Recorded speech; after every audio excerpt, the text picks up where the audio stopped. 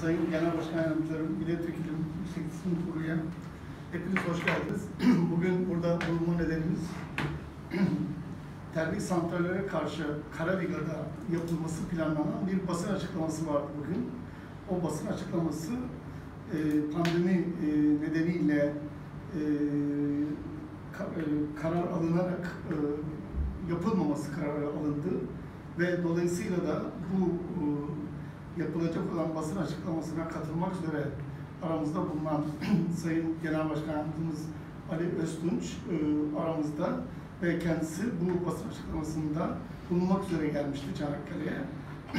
E, kendisi e, bu yapılmadığı e, nedeniyle de bugün bir basın açıklaması yapma gereği hissetti ve bunu yapıyoruz bugün şu anda burada.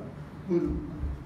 Evet, çok teşekkür ederim Sayın Başkanım, değerli başkanımız, Genel Başkan Yardımcım, milletvekilimiz, Yüksek Disiplin Kurulu üyemiz, bütün Çanakkale'de dostlarımız, parti yöneticilerimiz, hepinizi sevgiyle, saygıyla selamlıyoruz. Az önce Sayın Başkanımızın belirttiği gibi e, Karabiga'da e, planlanan e, termik santraller öldürür e, isimli açıklamaya katılmak için Çanakkale'ye gelmiştik. Türkiye'nin en güzel coğrafyalarından birine sahip olan Çanakkale, güzel insanların yaşadığı Çanakkale'de bulunmaktan dolayı da büyük bir.